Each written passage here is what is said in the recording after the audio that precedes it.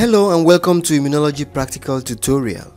Today's tutorial is about using ELISA to measure cytokines produced by in vitro stimulation of macrophages.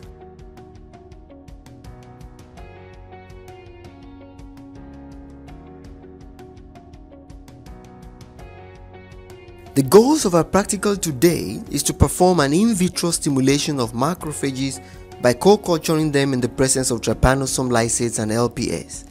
Subsequently, we will use sandwich ELISA to measure cell activation by detecting TNF-alpha, IL-6 and IL-10 cytokines.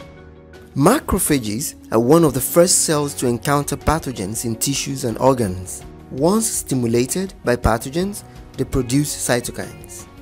In this video tutorial, we will use a modified macrophage cell line called RAW264.7 this cell line helps us to mirror the cellular response of in vivo macrophages.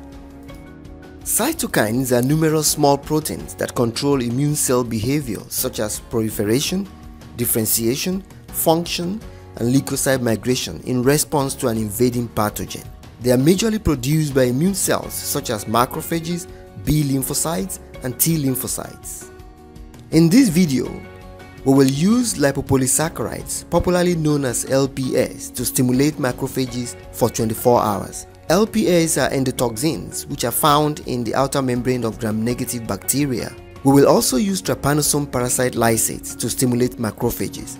Because the amount of cytokine production depends on the concentration of the stimulants, we will use these two stimulants in different concentrations. After the stimulation, we will perform enzyme-linked immunosorbent assay, popularly known as ELISA, to detect the concentrations of different chemokines that were secreted by the stimulated macrophages. Let's quickly look at the different types of ELISA assays. We have the direct, the indirect, and the sandwich ELISAs. The direct ELISA is one in which the antigen to be detected is first coated on a well plate. Subsequently, a detecting antibody which has already been conjugated to an enzyme is added to bind to the antigen. Afterwards, the substrate of the enzyme is then added to the assay. The assay changes in color if the assay is positive, and the absorbance of the colored reaction is measured with an ELISA reader. The indirect ELISA is one in which the antigen to be detected is first coated on a well plate, and a complementary antibody called the primary antibody is first made to bind to the antigen.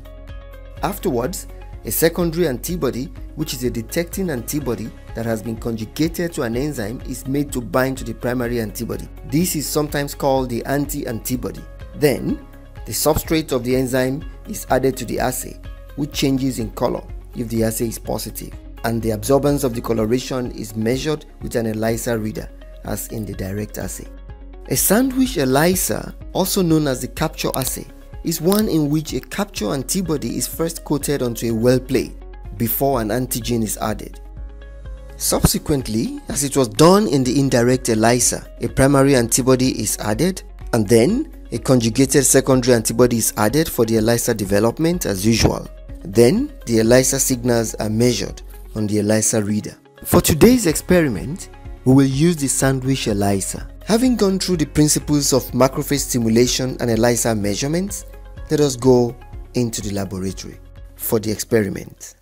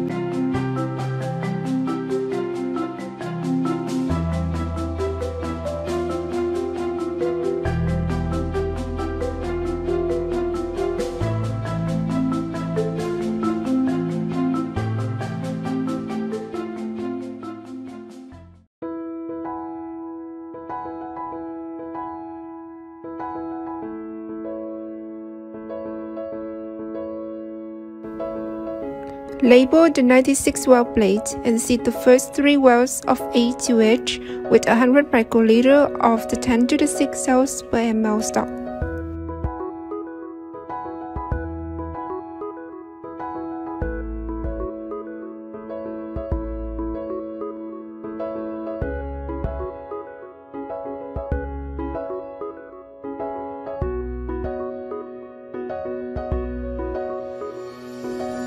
Place the cells in the CO2 incubator for 1 hour for the cells to adhere to the place.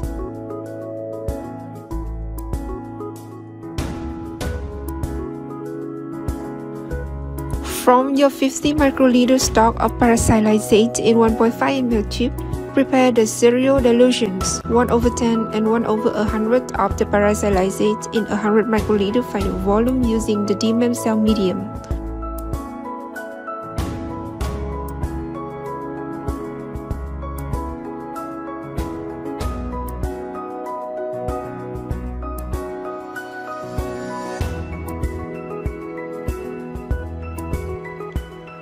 Likewise, you have been given a stock of LPS. You will have to prepare 1 over 10, 1 over 100, and 1 over 1000 dilution using the DMEM that you have been given. After 1 hour of adhesion of cells, take out your plate and add 10 microliter of the LPS and the lysate to the cell to stimulate them overnight.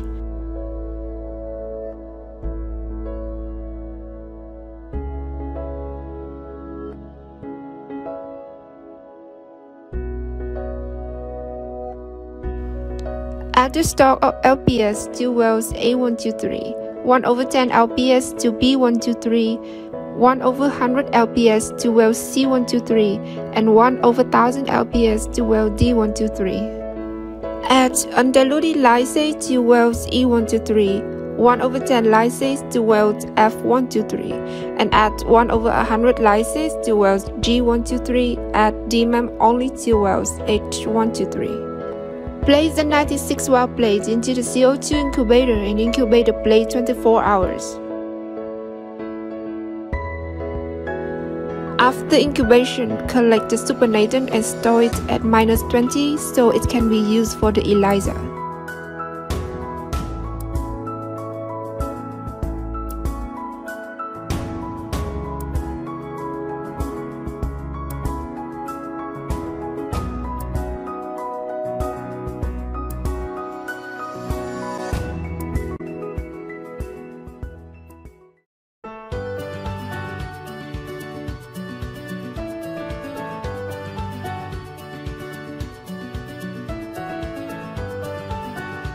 First, I'm going to add my capture antibody such as TNF-alpha, IL-6 or 10 using a multi-pipetter channel to a 96 well plate. Be sure not to create any bubbles while you're pipetting out your capture antibodies. Once coating is done, seal the plate with parafilm to avoid drying your antibodies. Then incubate your antibody coated 96 well plate overnight at 4 degrees Celsius.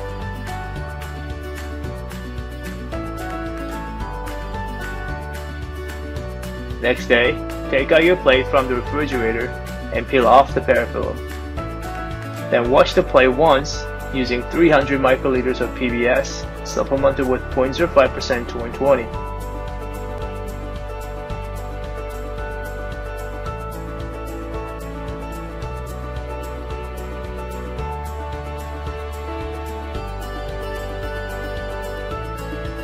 Now invert your plate on the sink and firmly throw the capture antibody to remove it from the plate. You can tap the plate with some paper towel for thorough removal. Block the plate by adding 200 microliters of 1x blocking buffer to prevent non-specific binding of your capture antibody.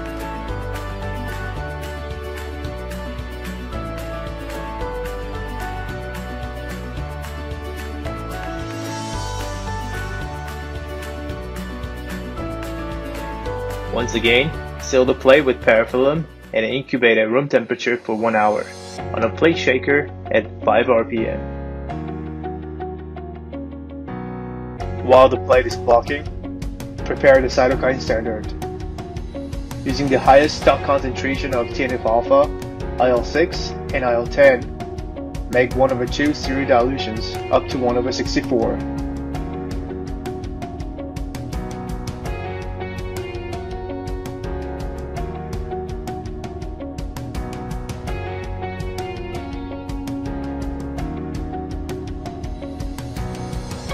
Since we are doing 101 serial dilutions, you will need a total of 6 dilutions to reach 1 over 64 for each cytokine standards.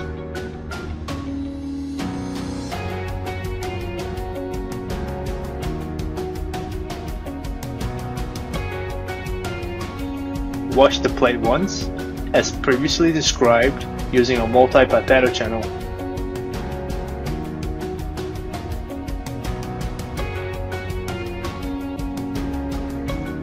Add 100 microliters of each dilutions of the standards in triplicates. Here you're starting with the lowest concentrations of your dilutions and move up to the highest, so we don't have to change our tips between every addition of our diluted standards. Be sure to only add the diluting reagent, such as PBS, on the H1 through H3 well for the negative control.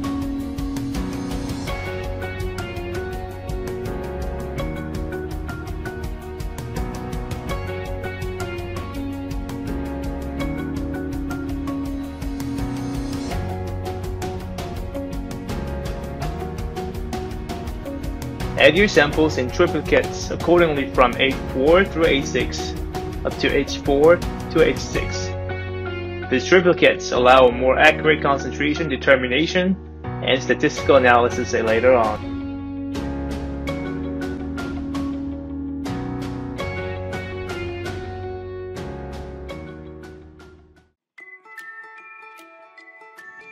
Seal the plate with parafilm and incubate at room temperature for 1 hour on a plate shaker at 5 rpm.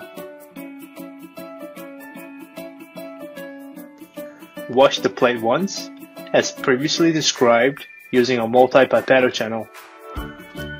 Prepare 1 of a 200x detection buffer using a 1x blocking buffer and add 100 microliters of the 1x detection antibody to each standard, control, and sample in each well.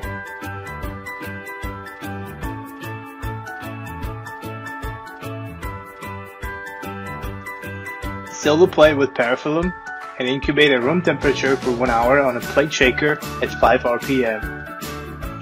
Wash the plate once, as previously described using a multi-pipetto channel.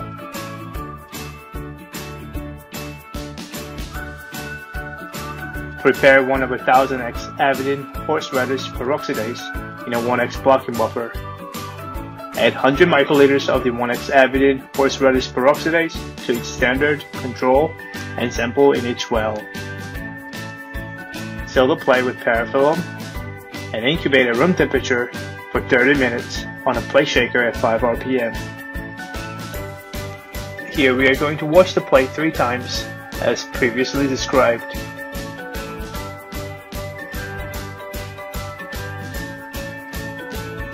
Right before the next step, prepare fresh TMB substrate by adding equal amount of TMB A and B together. Since they are light sensitive, be sure to protect it from the light. Add 100 microliters of the freshly prepared TMB substrate to each standard, control, and sample in each well. Then incubate for 15 minutes in the dark on your lab bench. Here I'm using an aluminum foil to protect the substrate from the light.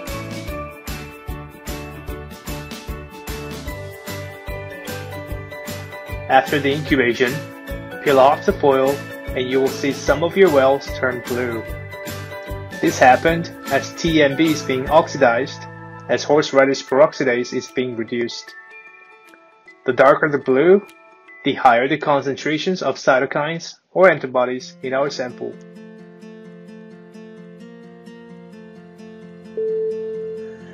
Add 100 microliters of 2N of sulfuric acid to stop the reaction. You'll see the color changes from blue to yellow as TMB is being oxidized once again. Finally, immediately scan the absorbance at 450 nanometer for reading the oxidized TMB, the one appears as yellow, and 570 nanometer for reading the plate itself to obtain the raw intensity of our target cytokines or antibodies in our sample.